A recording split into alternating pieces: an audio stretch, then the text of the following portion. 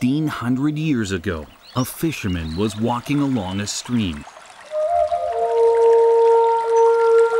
He became lost in the midst of a magical peach blossom forest. At the end of the path, he reached a narrow cave. Past the cave opening was a hidden village.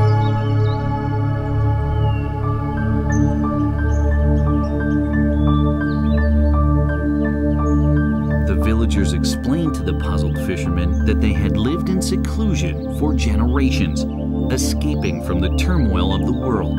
They knew nothing about the outside world or even what dynasty they were in. They lived a happy and carefree life. This dreamy tale was written by famed Chinese poet Tao Yuan Ming in 421. It was called The Records of the Land of Peach Blossoms.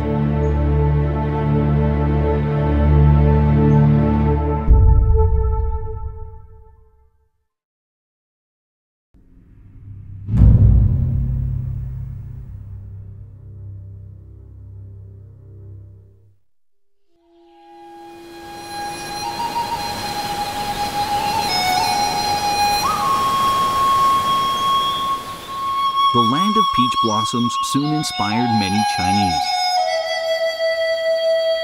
Tao's story drew countless people who believed in his fantastic tale for generations to come.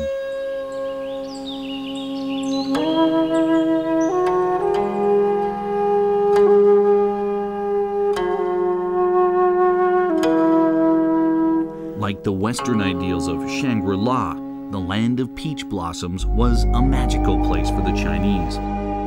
If such a place did exist, it would have broad plains, beautiful houses, and fertile fields, rippling lakes, lush trees, and bamboo forests. It would have serene alleys crossing one another, a rooster's crow and a dog's bark,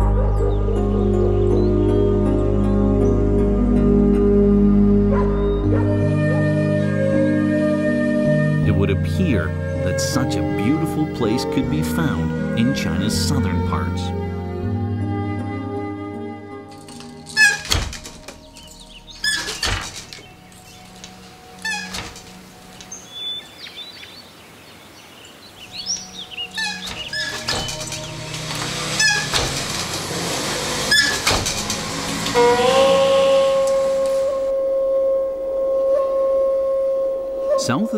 Yangtze River is the Wuling Spring.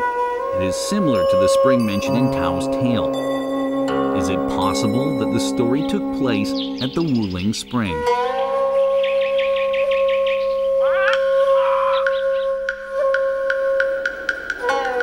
Wuling Spring is home to more than 3,000 stone pillars, some as high as 800 meters.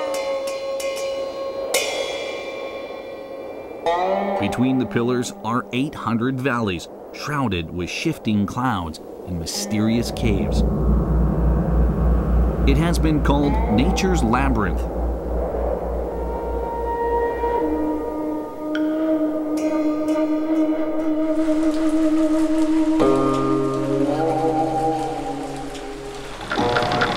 It was conceivable the fisherman in Tao's story lost his way in this natural maze. The unique rock formations are only one reason why Wuling Spring was considered by many to be the land of peach blossoms. The folklore of the local ethnic groups offers other explanations. Many ethnic groups have been living here for ages. According to local customs, people who share the same lineage and surname often live in the same village. For the sake of basic communication, surnames were used to distinguish between different villages. Since ancient times, these people have revered the peach trees. They are warm and hospitable, inviting guests to their houses and treating them with their finest foods.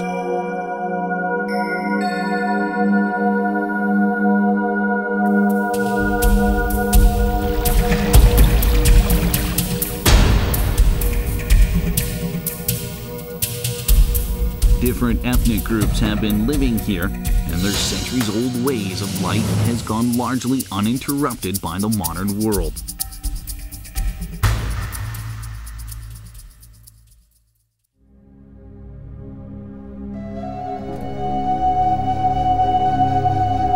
In his story, Tao Yuan Ming wrote, Men and women were dressed in vibrant clothes.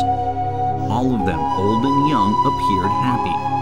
They were surprised to see the fisherman, then invited him to visit their homes, prepared food, and served him wine. The people living in Wuling Spring today epitomize Tao Yuan Ming's descriptions.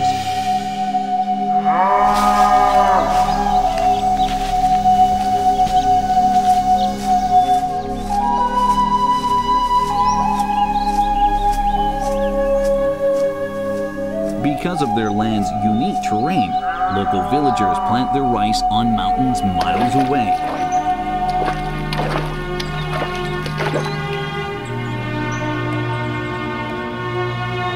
The fields atop the mountains are arranged like a delicate tapestry. This seven hectare field appears to be suspended in midair.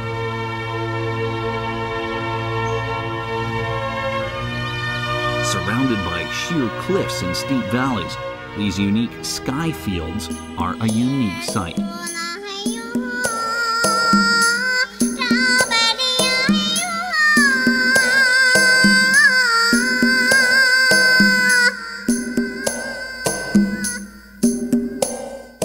The villagers' elders still maintain their ancient ways and traditions. Their customs, together with the magnificent mountain peaks, adds to Wuling Spring's luster.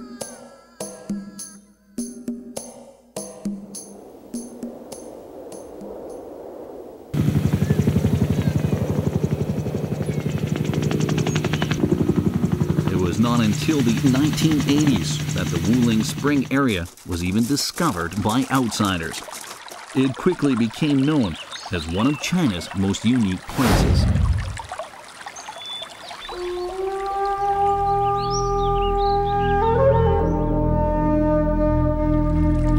Appears that the Wuling Spring is indeed the land of peach blossoms. However, dating back to 200 BC, Wuling served as a back door to the kingdom of Shu.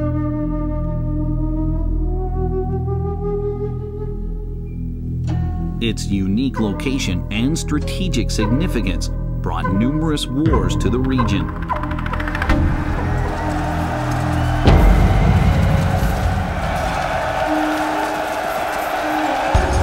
Differs entirely from what Tao Yuan Ming described when he wrote, Their ancestors had come to this isolated haven, bringing their families to escape the turmoil and war.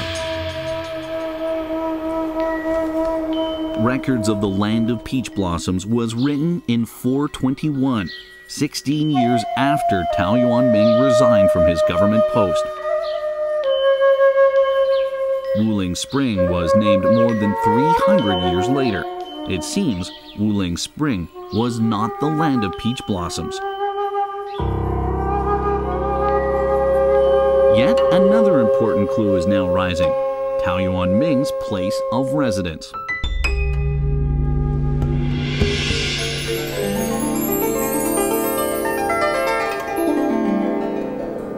Situated 600 kilometers away from Wuling Spring is Lu Mountain, where the poet lives since his resignation.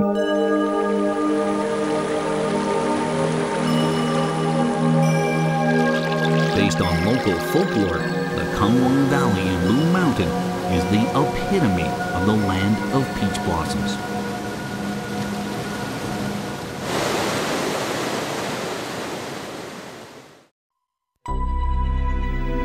1930s, a British missionary, Edward Selby Little, became enamored with Lu Mountain's natural beauty.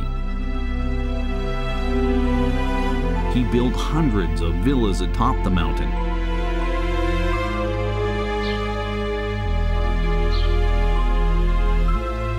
A genuine city in the clouds, this mountain community attracted many Westerners who came to China.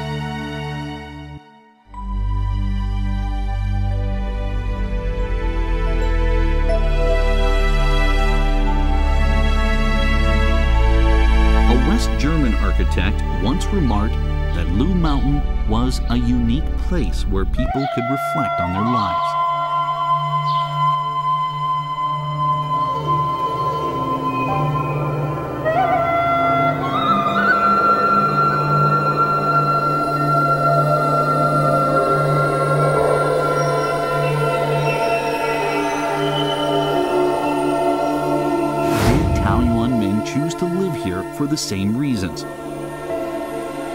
Days, an official government post was a scholar's life dream. Tao Yuan Ming's appointment, however, came during an unstable period. Fierce class struggles between officials were widespread, and humble and honest officials such as Tao couldn't accomplish their goal of becoming civil servants.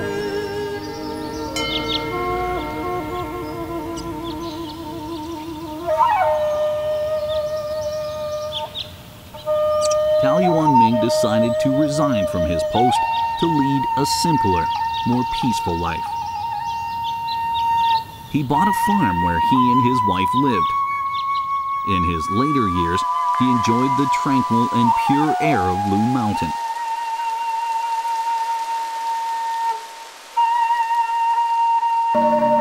He would frequently visit the Donglin Temple at the foot of the mountain, discussing philosophy with the monks going to the temple, he had to pass through the Kangwang Valley.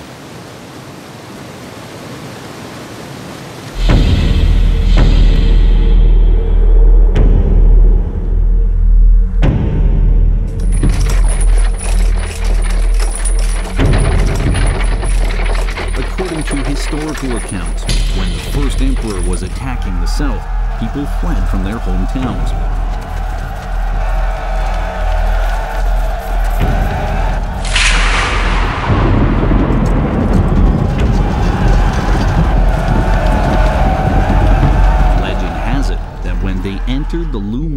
Deep valleys, a torrential downpour began. The rain and the deep and dark valleys discouraged the soldiers from chasing them.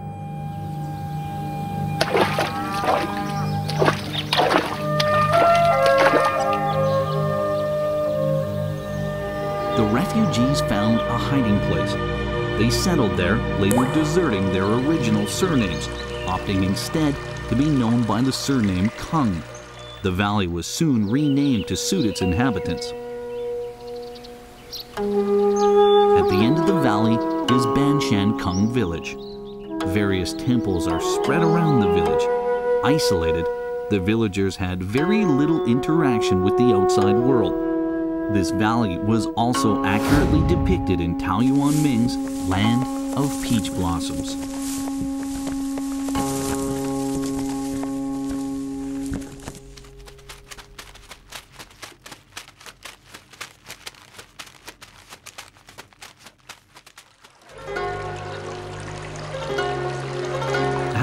In Tao Yuan Ming's days, Lu Mountain and its surrounding areas, such as the middle and lower reaches of the Yangtze River, was densely populated.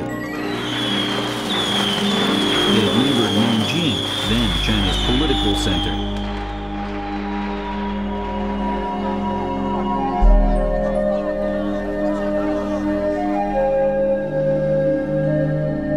Contrary to Tao's story, impossible for the residents of Kangwang Valley to be oblivious about the outside world.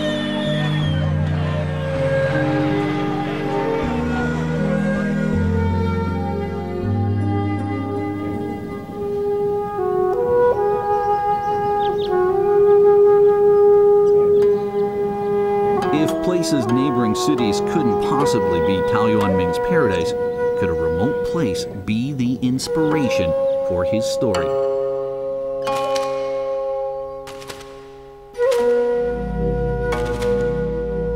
Perhaps Tao Yuan Ming merely heard about such a place, inspiring him to write his classic tale.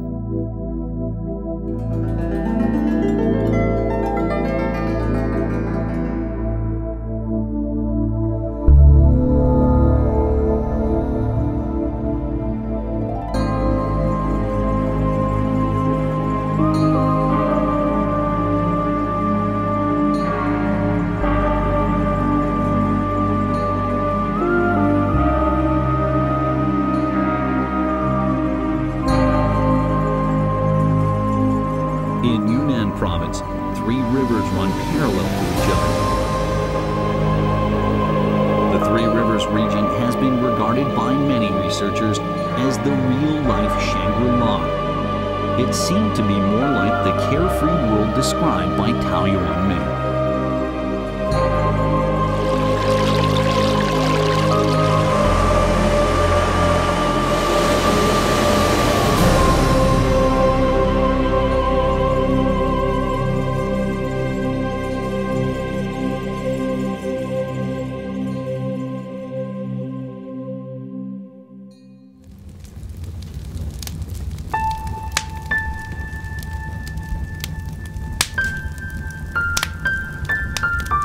1933, James Hilton's legendary novel Lost Horizon introduced the concept of Shangri-La to the world. In the novel, four Westerners were kidnapped by a mysterious Asian hijacker on a plane. After the plane crashed, the survivors found themselves in a magical place.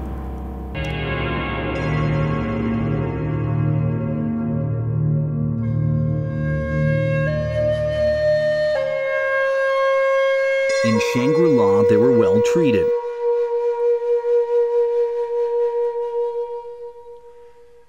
Time seemed to lose its meaning. The people living in the magical valley lived unusually long lives.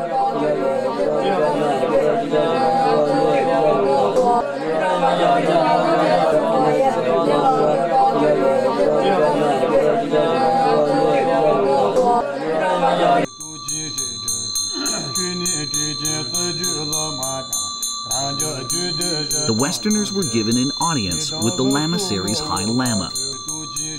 For different reasons, each Westerner chose to stay in the valley.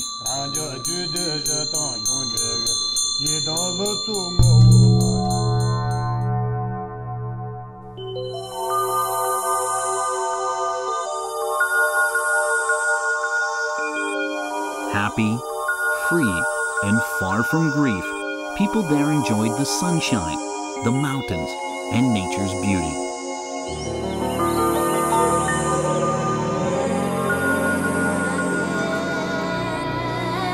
The valley's natural gold deposits meant nothing to them. They practiced moderation. The valley was teeming with people from many nationalities. Although each had different faiths and customs, they loved each other and lived together in harmony.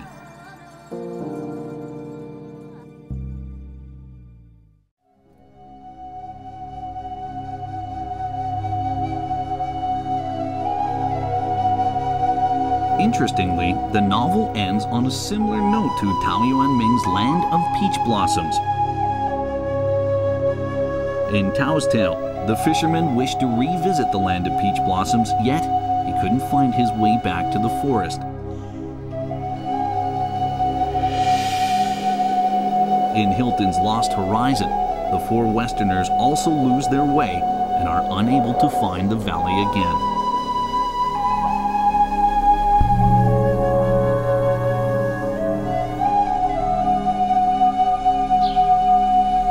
Lost Horizon to the west was what Land of Peach Blossom was to the east.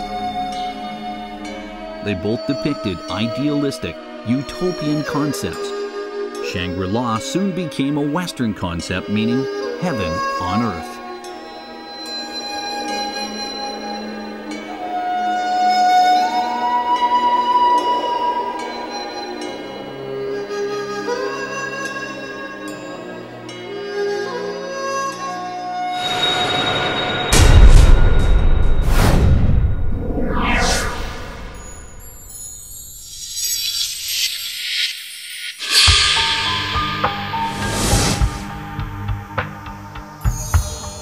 Three rivers, the Jinsha, Lancang, and Nu River all originate from the Qinghai Tibet Plateau. They run parallel, yet never converge.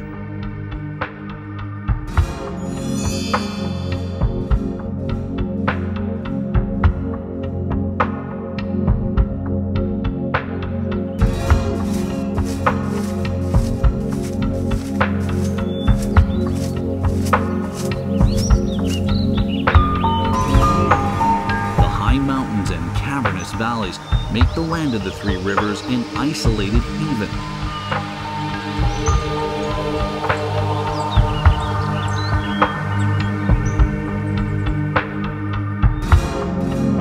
With freedom, tolerance, and equality, the Three Rivers region is a land where many ethnic groups, languages, and religions merge into one.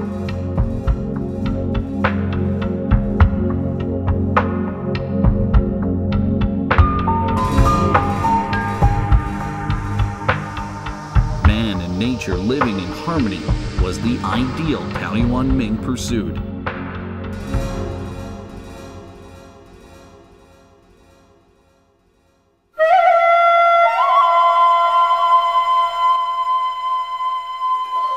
For many, the old dream of forgetting one's troubles and pursuing peace and happiness remains unrealized.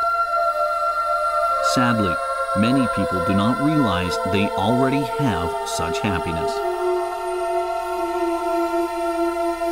Throughout the ages, man has always sought the lands of peach blossoms and Shangri-Las. The land of peach blossoms was Tao Yuan Ming's spiritual respite living forever in his words.